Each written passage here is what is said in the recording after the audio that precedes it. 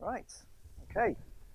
Thanks, Miles. That's a lovely introduction. Um, so yeah, tonight I wanted to talk to you a little bit about. You know, we're going to do some different things. We're going to think about what's going on in, in the current uh, technology space, and what, we're going to look a little bit about what might be happening in the future. And the idea of this uh, this talk really was about how do we get ourselves ready today for what's coming up in front of us. To see which button to press. There we go. So today's web is very, very unpredictable. It's, it's moving much faster than it was before. Um, so what we're going to talk about today is what's likely to change in the future. Of course, a little bit of guesswork going on. Um, but whichever way it goes, how we can do some things now to prepare ourselves for the future. Hmm. So when we got started in this business, so as Miles said, we've been working together even longer than 15 years, I think. Um, when we were working in the content management space before it was called content management, we pretty much knew what we were dealing with. We were dealing with a desktop, we were dealing with multiple browsers that didn't talk to each other and didn't behave the same way. And that, we knew the set of problems we were dealing with. And over the last 15 years, we've been introduced to these new, uh, new spaces, whether it be micro laptops, iPads, tablets, phones, and we've got to the place with mobile web. So at the moment, we refer to these, we know about these devices. We, we've got used to it now, we know what we're dealing with, and we refer to these now as the, as the known consumer before we start thinking about the unknown. So by definition, the known consumer to me is anything that we're testing for. But there's a whole realm of other things that are unknown to us. And where that's coming from is what's being referred to as the Internet of Things. So we've got this whole new range of internet-enabled devices. Um, in the in the media, often that's referred to as your your sort of the headline kind of devices that people are talking about. Your internet-connected fridge that knows what's in there and knows how to order your uh, do your order at Sainsbury's and that sort of thing. Maybe it's domestic appliances, uh, your your Nest, your you know these sorts of devices are all uh, now connecting themselves to the internet. But we've also got a whole load of other things that are not necessarily talked about quite so much, don't, don't really feature in the CES highlights. And this is an example of an ad that was, this is a couple of years back now, but this is really a pioneering ad. Not far from here, as you can probably see. This is a British Airways ad, award-winning ad, and what was happening here is the system was able to pick up on the beacons of the planes going over. And that was fed into an application which could identify the flights. And when, when, the, when the flight was you know, one of the trigger flights, it would activate this billboard and then bring up the information for the flight. So this is a great innovative, innovative advert that was going on. And this is exactly the sort of thing we're talking about now. This is now, this was pioneering, but now this isn't actually that uncommon we're now in a place where advertising, billboards, and so on are internet connected devices consuming content. And then if we look at a few other types of devices, we've got environmental monitoring, we've got infrastructure, all these sort of you know, heavy industry things, again, all connected to the internet, which is one of the big risks in our, in our world today, that these things are all connected. So energy management, medical healthcare, that sort of thing. And then further away than that, we've got the consumer level devices, we've got the wearable devices, the watches, the Fitbits, these sort of things, and what we're referring to as the quantified self, this desire that we have to collect data and collect statistics about ourselves for what purposes, uh, who knows. But we, you know, we, we're looking a lot at Strava at the moment, for example, for developing data collection exercises. And then we've got smart retail, the advent of beacons and things that are already in place in shops that we don't even know are there, uh, tracking us, making sure that what we're looking at, understanding what we're looking at and presenting us content uh, that's relevant. Okay, so there's something like, I can't remember the stat, it's like 55 million devices connected every day to the internet worldwide. So how many of these are actually content consuming devices that we really care about? We can take a big chunk of these devices away and not worry about those. Um, but there is a whole load left that are content consumers in a different category than we, than we saw before. So these are some examples. Um, we know that very recently Vodafone switched from a system where their in-store kiosks uh, used to be driven by DVD or CD. So whenever there was an update to their content, someone had to go around every kiosk in every store in Europe, plug the CD in, load the new content up. But now uh, they have a central content repository, so a content management system with no front end that is capable of feeding this new content out to all the stores simultaneously via what we call a content factory or a content hub. So we've gone from this place where actually the content we're creating in our CMS isn't necessarily for the web. It could be for a completely different context, even though that's a website I'm showing. Um, the consoles in the store have a slightly different feel, but they're consuming the same content.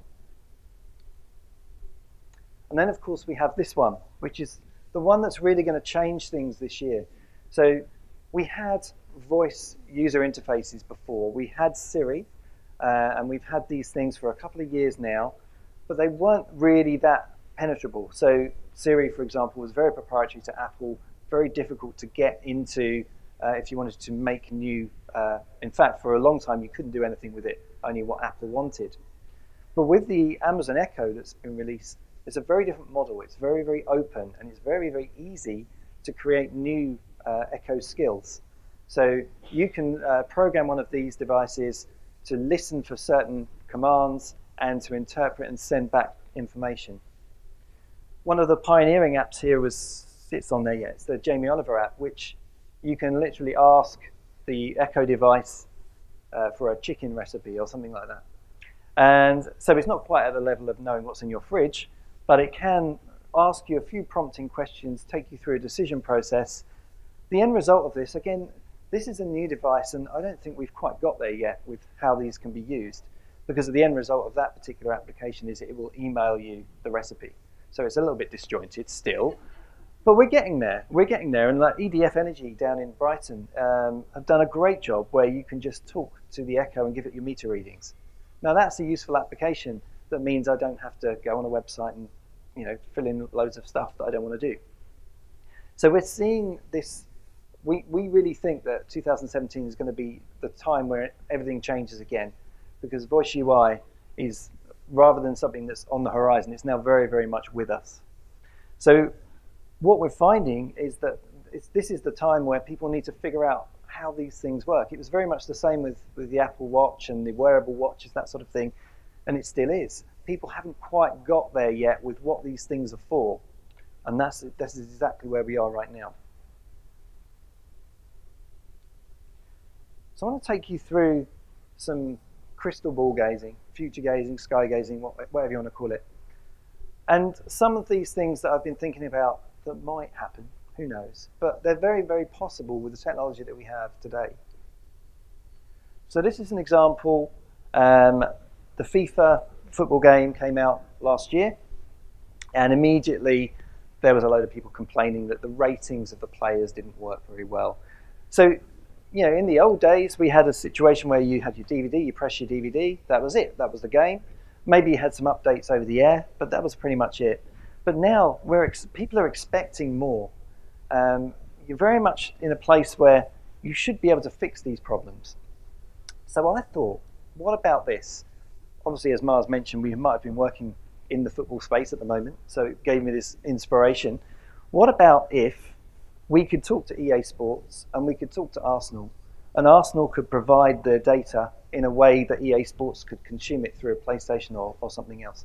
What about if we were in a place where my player, a favourite player, whatever, was injured on a Saturday, and then I picked up the game on a Saturday night and I couldn't play that player anymore because of that injury. What about if we could get that close? These games are getting more and more complex and more and more real, and I think that this is a great example of where content can be consumed in a way that we haven't really thought about. But it's still content management. So all it is, is is exposing that content in a way that that game can understand. And this is another one. This is a screenshot of the FDA website, so the Food and Drug Administration in the US. We have the equivalent in the UK. And one of the biggest things on this is uh, the Food and Drug Administration is responsible for recalling medical devices if they're faulty or dangerous or whatever. But the only way to do it at the moment is to fill in all the data about the product, to to find out whether it's on a list of recalls. So what if we could expose this data in a different way? Because at the moment, the person who's going to check that form is not necessarily a paramedic who might be out in the field. It's going to be someone in procurement somewhere. But what if we develop these devices so that, and we develop the content so that the device can check for itself? And what if the most, probably the most extreme case, what if that device checks itself, realizes it's now unsafe to use, and deactivates itself? Loads of ethics and various other conversations to have before that can happen. But, you know, theoretically, these things are now where we are. And then, not that far ahead of us, is this new concept of the autonomous vehicle. We're not that far away from Uber deciding they don't need those drivers anymore. And we're in a place where we're sort of assuming at the moment that, okay, so I don't have to drive and I don't have to look where I'm going. What am I going to do? Okay, I could, if I thought about it in today's world, I'd think I've got a phone, I've got a tablet, and that's probably what I'm going to do. But the reality is, it's a completely different thing that we haven't even experienced yet. And it might be that content is coming out of small directions, whether it be, this is a, from Mercedes concept, um, so, you know, it, there's, there's, content coming in from all directions there. And this is, you know, self-driving cars, autonomous cars are going to change a lot of things. This is one, but it, obviously could change the nature of the economy itself.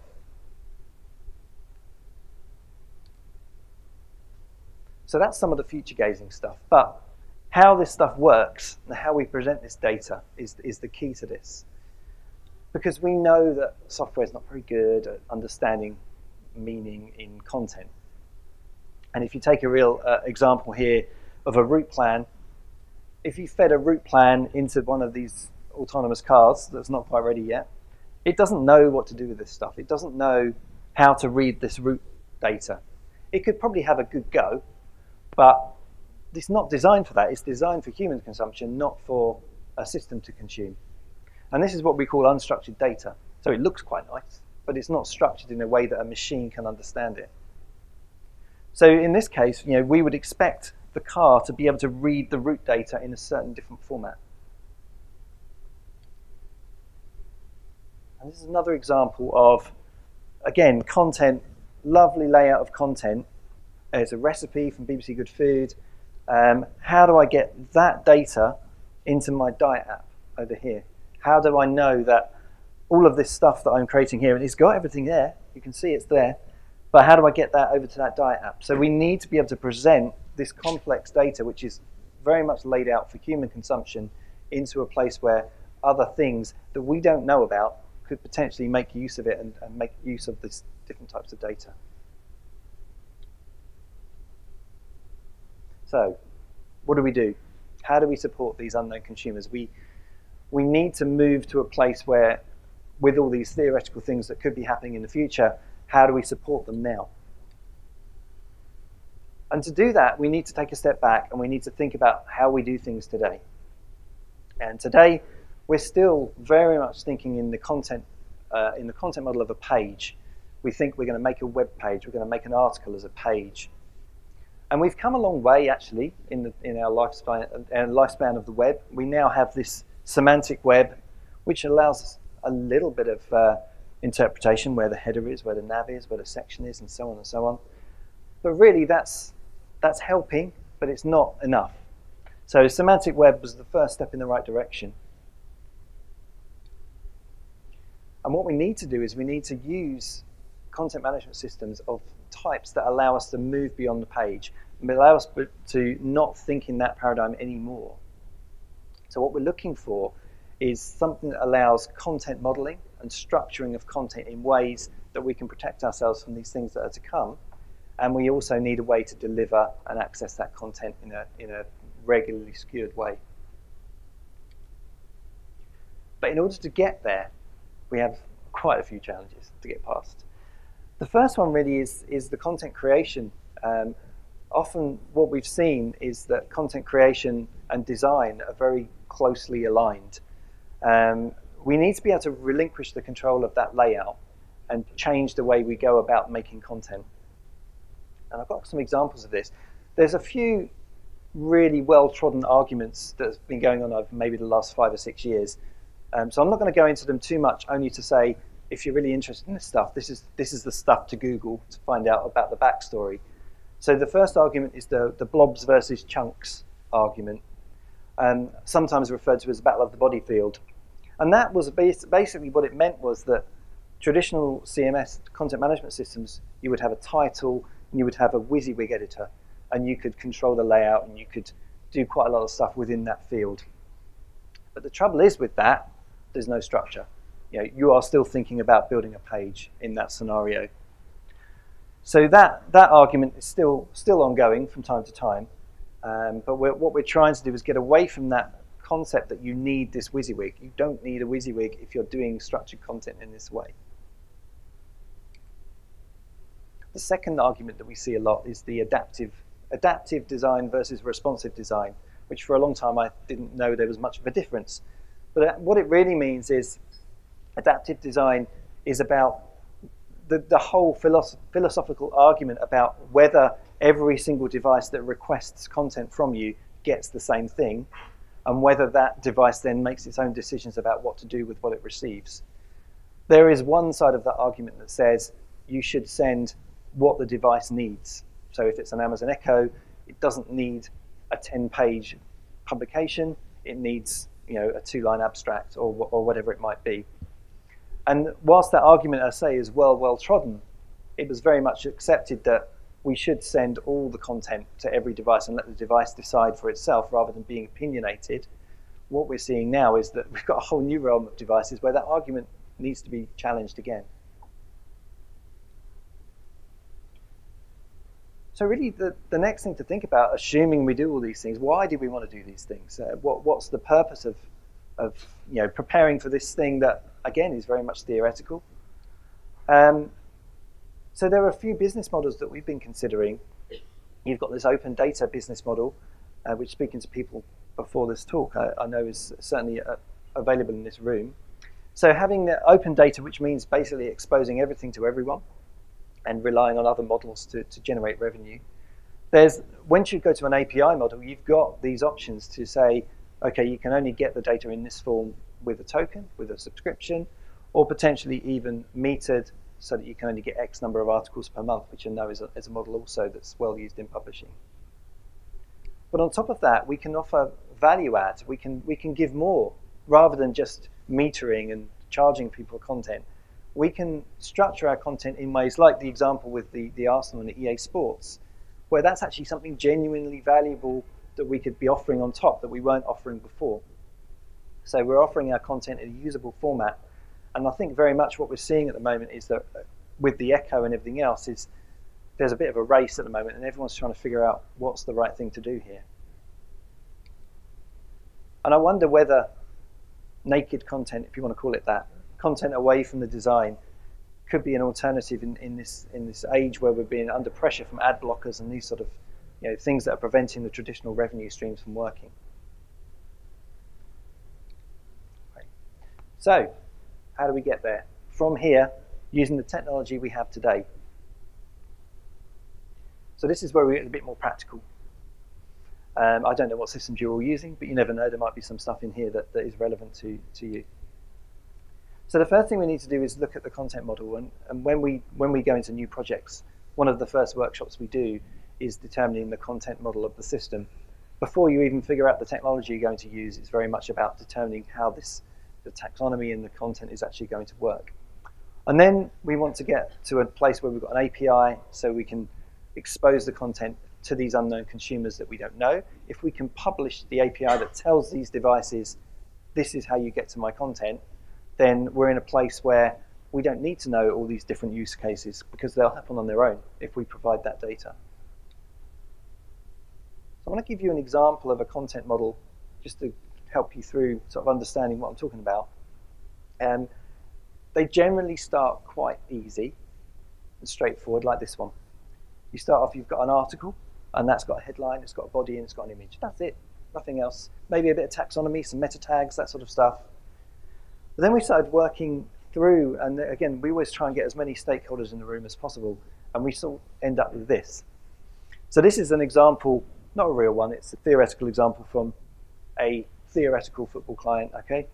So we've got the article, but the article can be related to maybe a fixture, and that fixture is on a calendar, and there might be previous fixtures where we played that team before. We need the results. We might need the audio commentary. Um, what competition is it from? They have a ladies' team, a men's team, a youth team. Where are they in the table? Um, you know, who are the players? Do, do, the players have their own stats? Uh, what's the venue we're playing at today?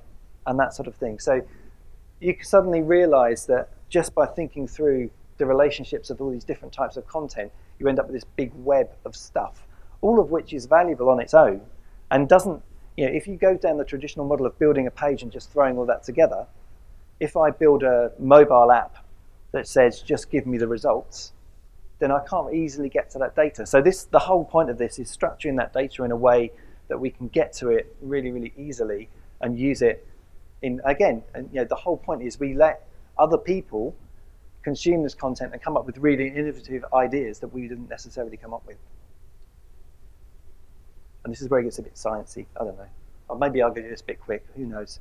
Um, so what we tried to think about is some tips on how to do this stuff when you're creating content models in a content management system. Object-oriented programming is something that's been around for many, many years, and there are a few principles to it that I think map directly to, to content modeling.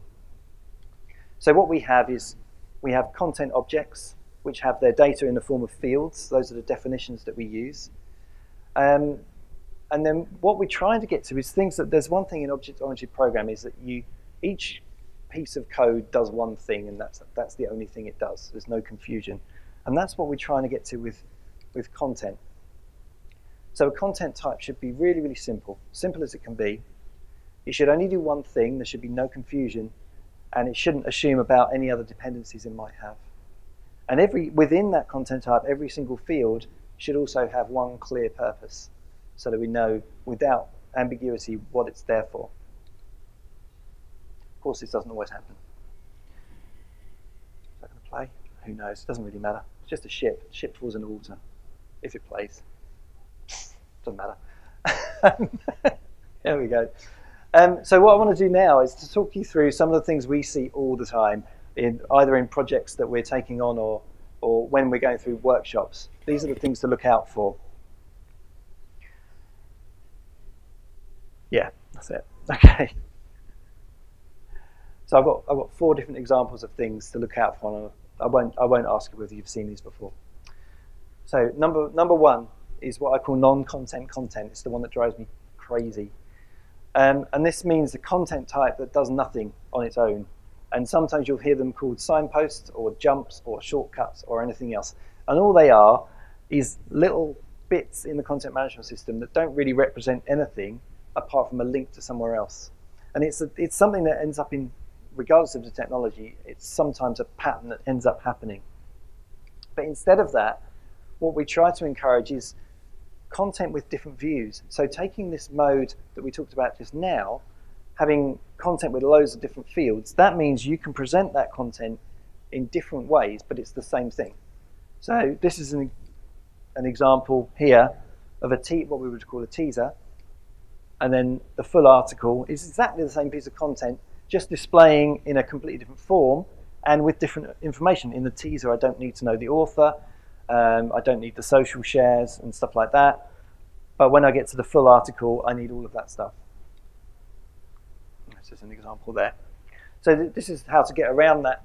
Yeah, instead of showing these shortcuts, we should show a teaser view of the actual article we're going to. This is the next one that we see a lot. And it's often the case when a system has been around for a few years. Um, what we see here is the, the, the Godzilla content type is when you have a gigantic content type that does loads and loads of things.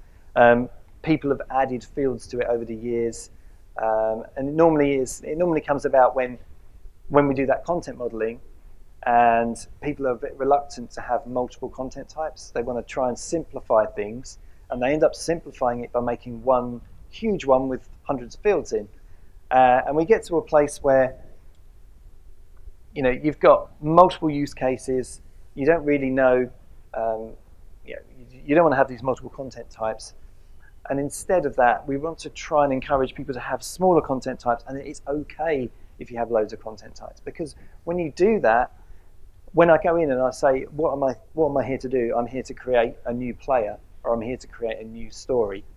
You know, I, I can control the thing I'm doing in a quite a close way. So we have to think about how these content types relate to each other, and again, making sure that they have single responsibility, and you're not trying to use one thing to do multiple things on the website. This one, I guess, is quite obvious, really, but again, what we see here, uh, field ambiguity, we see a field name that doesn't quite make sense to the author. So we get uh, to the editor, sorry. So someone is using the, the form, trying to create their content, and they can't quite remember what that meant. Never a good sign. Uh, and we, often, we often find that when in, in this layout, this field does this, in this layout, it does this thing over here and that leads us to a loss of structure that is, is not so good. So instead of that, we're trying to agree clear name, clear naming right up front in those content workshops, and obviously lots of help text to help us through it. And the last one I've got is the, the using content for logic. This is another classic that we see quite a lot. Uh, and this means adding fields to your content type that aren't really fields at all. And what they're really there for is to change the layout of the page which again, if you think about where we've come from, the things we've been talking about here, those fields make no sense because a field that says background color blue doesn't make sense to that autonomous car. So we've got, we've got content in there that should be somewhere else. The layout shouldn't be influencing, influenced by the content. The application theme layer of your content management system should be doing that work for you. Right, so I'm just keeping an eye on my time. Um, so what next? So how do we do this stuff? So what we're recommending, um, and obviously as, as, as, is our business, we're looking for a CMS that a good content model toolset is your first place to start. You can't do this stuff if the CMS doesn't support it. But we need to make sure that all the stakeholders in the project that we're working on understand why we're doing the things that we're doing. Because if you don't get the concept and why we're doing this stuff, then it's very, very difficult to get the end goal.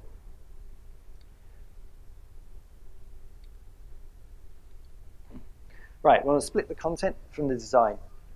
And this is going to be tricky because traditionally, you know, editors, uh, content creators have assumed that they have a certain amount of freedom over, okay, I want to put this image here, I want to put this one on the left. But we're taking that stuff away because we don't need that in structured data. It doesn't matter whether the image is on the right or the left because the content is clean of design. And we need to handle those creative objections early and explain why we're trying to do these things, that we're not trying to take away their creative freedom, we're trying to do things in a different way and they can still get the end result they're looking for. So we need to spend lots of time on that content model, more time than you realize, to certainly think through and get different stakeholders involved to think through how all this content links together and how that's important. And the last one really is future proofing. Um, it's inevitable that we re-platform systems every few years or whatever. And ultimately what that means is we've got to move that content from one place to another. So doing this kind of thing now means that it's easy to move from one place to another later. And, and we've had some, you know, we've had some problems in the past where, it, because it's so difficult to migrate data, decisions will be made like, well, let's just keep two years worth and drop the rest. And that's horrible to hear because you know, we're, we're in this world where we all these, you know, we've changed digital media so often that we've lost so much data in the last 20 years because we can't even read those formats anymore. If we start making decisions like we don't need that data, then we've lost a big part of our legacy. So we can't really future-proof our content, so I took that way. But really what it's about is preparing your content for the future because we don't really know what the future is. Everything here has been about you know, theoretical stuff, trends that we're seeing in the market at the moment. So we want to prepare for the future, but we want to ensure that portability of content and embracing the unknown because that's where that innovation is going to come from and creating a legacy in content. And that's really, really important to me is that legacy of content and not relying on those sort of people at the, the archive project it's up to us to look after this content, look after our history, and make sure that it's there for future generations to come. And I've got question sessions later, but that's it for me for now. Thank you very much.